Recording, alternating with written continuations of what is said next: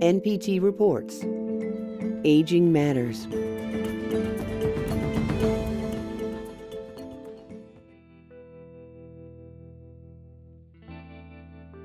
I get up every day to give a voice to those people suffering from addiction.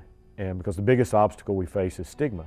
One of the popular to topics I have is addiction is not a moral failure. It starts out as being a choice. I mean, the first time you pick up, you pick up. But what people don't realize is that neurons and pathways in our brain, neurons that, that, that, that fire together, wire together. And so over time, what started out as a choice becomes not a choice. The area of our brain that it hijacks is our reward system. They're called endorphins.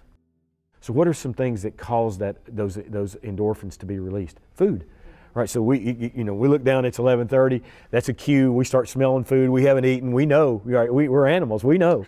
So imagine how strong those cravings are. Imagine what you'll do for food to sustain yourself at that time. And now I want you to amp them up tenfold. Tenfold. Because somebody who's addicted to opioids, be it pain medication or heroin, their cravings for their drug are tenfold stronger than your cravings are for food when you're hungry and water when you're thirsty. You lose the input from the frontal lobe of your brain, and so you lose insight and judgment. You're driven solely by the reward system. And that's what happens to people in addiction.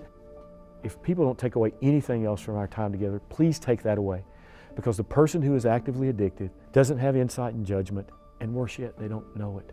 But when I get you off of whatever the offending drug is, get you off of what you're addicted to, and give you time and treatment, allow your frontal lobe to wake up, now insight and judgment come back. Now you've got a chance when you go out into the world that has all those cues that are still there.